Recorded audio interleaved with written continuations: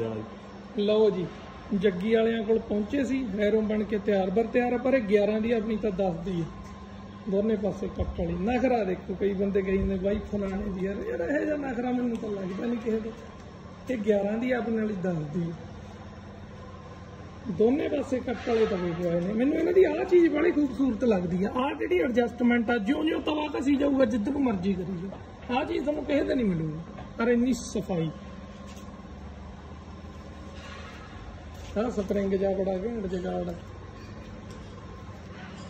ਆਹ ਦੇਖੋ ਇੱਕ ਹਲ ਪਏ ਨੇ, ਪੰਜ ਹਲ ਨੰਨੀ ਮੁੰਨੀਆਂ ਪਈਆਂ ਨੇ, ਪਤਾ ਨਹੀਂ ਕੌਣ ਖਿੱਚੇ ਤਾਂ ਮੈਂ ਵੀ ਖਿੱਚ ਲੂ ਜੀ ਮੇਰੇ। ਮਗਰ ਆ ਨੰਨੀ ਮੁੰਨੀ ਰੋਟਾ ਵੇਟਰ ਪਿਆ ਦੇਖ ਚੀਜ਼ਾਂ ਚੂਜ਼ਾਂ ਸਾਲੀਆਂ, ਨਖਰਾ ਹੀ ਅਲੱਗ ਹੈ